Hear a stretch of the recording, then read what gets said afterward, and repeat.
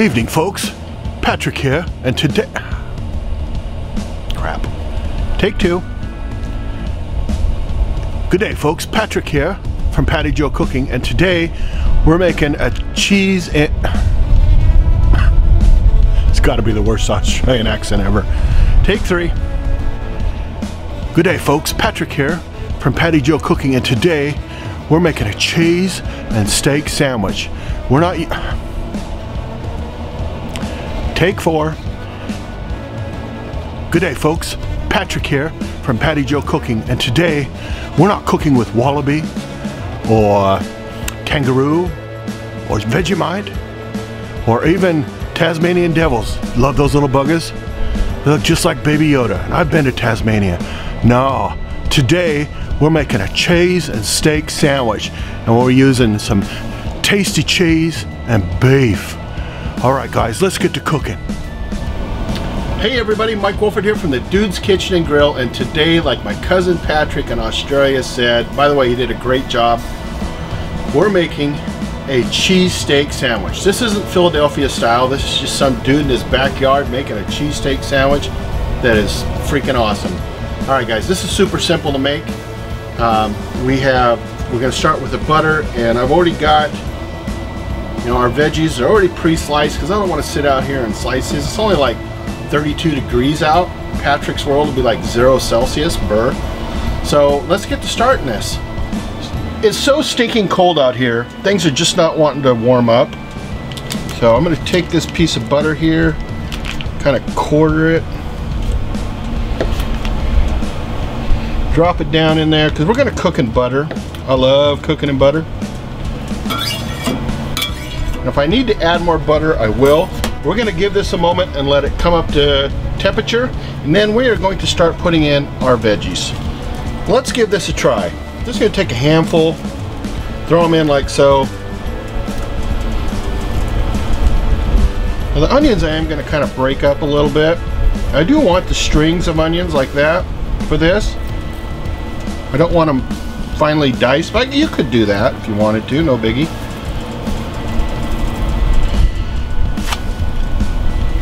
All right, we're gonna put the mushrooms in towards the end of this, but we are also going to add, because we're, we're not using Uncle Steve's shake on this, we're adding, or we're using, excuse me, uh, SP&G, but I'm just gonna use the G for the SP&G is actually gonna be in here cooking with this.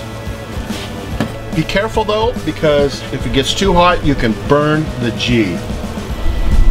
We're gonna let this uh, come up to speed.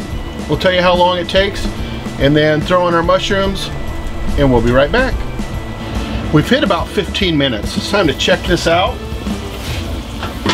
Coming along nicely. The onions are starting to get limp. If you have any idea what, if you guys want to know what that is, just look at Chris from Eastwind Farms. He does a whole series on limp veggies. Chris. Here's my Chris moment. It's been a while. Okay, so we're gonna put the mushrooms in. I don't think this is gonna take very long for the mushrooms. And then we have another pan over here. You can kind of barely see it here. And we're just gonna move those over there, all the all this, because I wanna use the garlic and whatever else is left over from the flavor of this to cook our steaks. Let's give this a few minutes and then we'll check back in on it. We were right on with the five minutes. Look at that. So I'm just gonna move these over to this pan. Let them finish up in there. Because it's time to put our steak down. Now, I don't have to get everything out here. I mean, the mushrooms, obviously we're gonna have mushrooms and garlic left over. That's just gonna add to the flavor of our steak. I do have a piece of tri-tip over here we're gonna use. So that is just about perfect to me. Let's start on the tri-tip now. With the tri-tip, we wanna just cut it as thin as possible. I mean, that's about as thin, that's about as thin as I'm gonna get it. I did cut off the fat. It is still kind of frozen, not really, really frozen.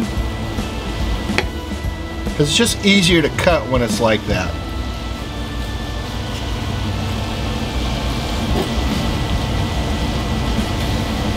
A little extra piece there.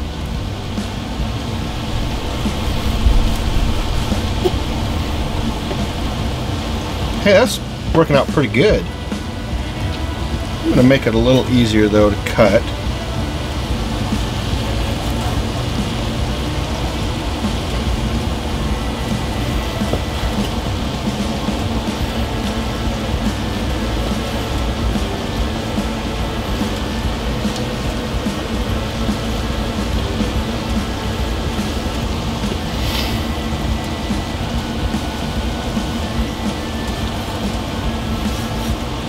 Man, it is so cold out here. But it's so warm next to the round Blackstone. Whew. Actually, it's a Cuisinart 360 griddle, but Kent from Daddy Dutch Cooking calls it the round Blackstone.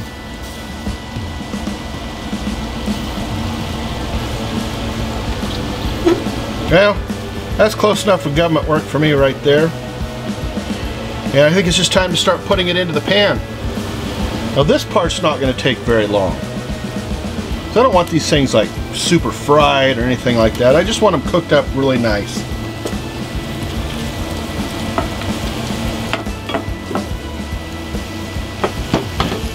I'm going to wash my hands, guys, while you watch this, and I'll be right back.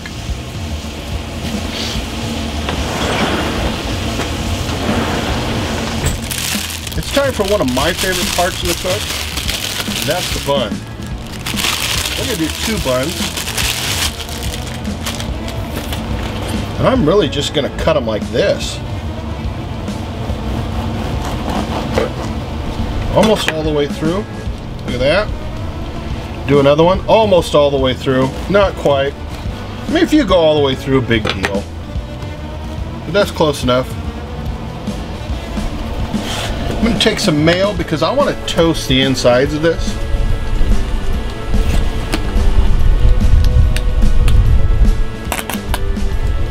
And that wind's biting. Whew. I'm just using some mayo for this, for the inside. Won't take long. We're going to put it on the black, uh, the round blackstone. Put them down like so for a few minutes. And those should be done in a few minutes. Everything else is coming along quite nicely.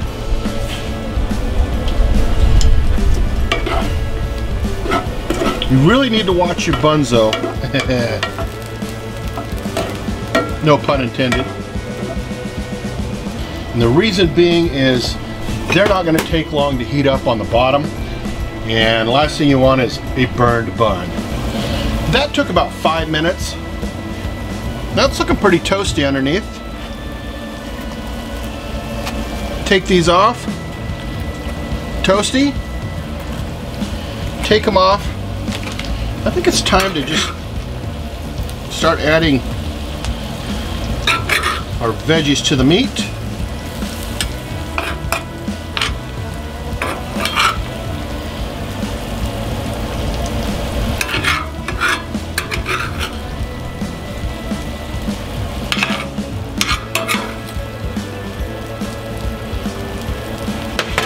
From there, I'm going to take some of this tasty provolone cheese.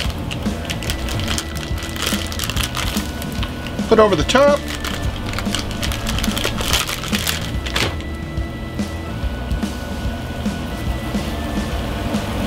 Just kind of let these things start working their magic that melts through there.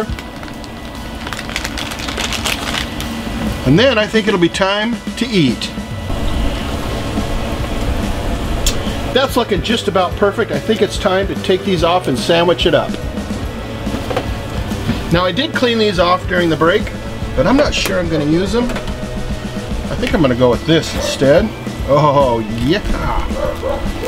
Dang, look at that. Holy cow. Look at that. That, oh man, I can hardly wait, hardly wait.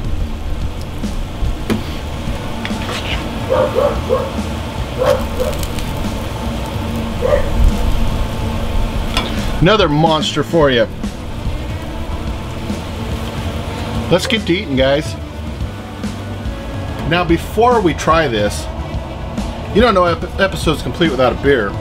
Somebody gave me this Keystone Keylightful Raspberry Lime Beer. I know my cousin Patrick down at Patty Joe Cooking likes to try some odd stuff. My God, I wouldn't feed that to my dog. Poor Zoe. All right, guys, you know what time it is? Time for a White Russian. White Russians go well with everything. Do you know that the Dude's Kitchen and Grill also has a barbecue talk show? That's right, every Wednesday at 7 p.m. Mountain, 9 p.m. Eastern, we have the Wednesday night barbecue and talk show where we have the White Russian cam, we have guests, we have open bar seating. We just have a blast. We talk about new channels, how to grow your channel, you name it, we talk about it.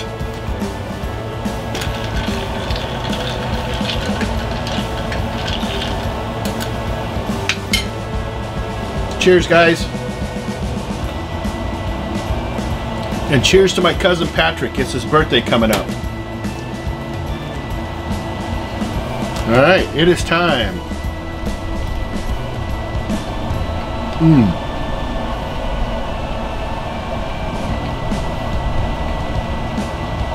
Absolutely amazing. Mmm.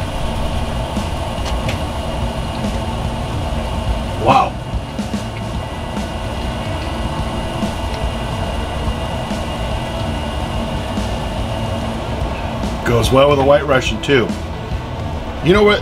You know how we made it. The recipe's down below. This is not a Philly cheesesteak. Like I said, this is just some dude in the backyard. He's freezing his butt off making a cheesesteak. But I'll tell you what, cheesesteak sandwich, sorry, this is good. Alright guys, thanks everybody for watching. Please remember to like, subscribe, comment, share, ring that bell for notifications. We'll talk to you later. And remember, the dude abides, this time with a cheesesteak sandwich. See you later guys.